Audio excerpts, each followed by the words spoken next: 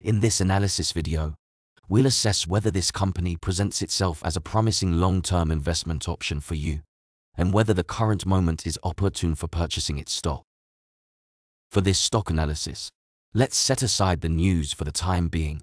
That's my approach, and I encourage you to do the same. Our focus will solely be on examining the company itself. Should any news emerge causing a dip in the stock price, you'll be equipped to discern whether it presents a favorable buying opportunity. However, for the scope of this video, let's focus our attention on the company's fundamentals. In this video, our analysis will be divided into two main categories. The business aspect, which accounts for 75% of the evaluation, and the pricing aspect, which comprises the remaining 25%. In terms of the business aspect, we'll examine eight key metrics to determine if they provide a more comprehensive understanding of the company. Additionally, we'll compare these eight metrics with those of the S&P 500. I believe this comparison offers a more insightful perspective on the company, as it allows us to gauge its performance relative to the broader market. In these eight metrics, the initial four, growth, efficiency, dividends, and effectiveness are ideally sought to be high. Conversely, the latter four, speculation, relative value, mood, and opinion are preferably lower, ideally below the S&P 500 benchmark.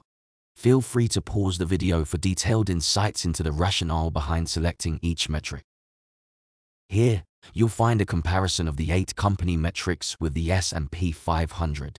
Metrics highlighted in green are awarded two points, while any in red do not receive points.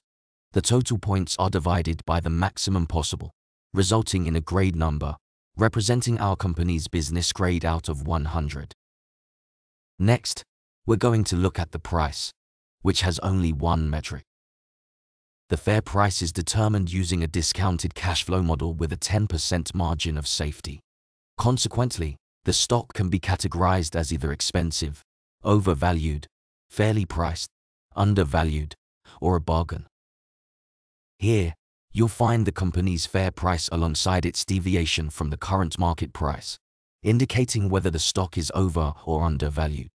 We utilize a grading system consisting of 10 levels to evaluate the stock's valuation. A grade of 50 signifies the stock is fairly valued at present. Grades above 50 indicate undervaluation relative to the current stock price. Before we put everything together, join my Patreon you'll get access to the grades of hundreds of companies and ETFs. It's updated all the time. Link on the screen and in the description. Finally, we're going to put the company's business and price grades together to get our final grade. Displayed here is the ultimate grade for our company, assessed on a scale from 0 to 100. Any grade below 50 suggests it's not currently advisable for investment, while a grade above 50 indicates it merits consideration. It's crucial to bear in mind that external news can significantly impact circumstances, and this analysis provides insight into the company itself rather than the external noise surrounding it. Subscribe for more analysis videos. Invest wisely, and as always, take care of your money.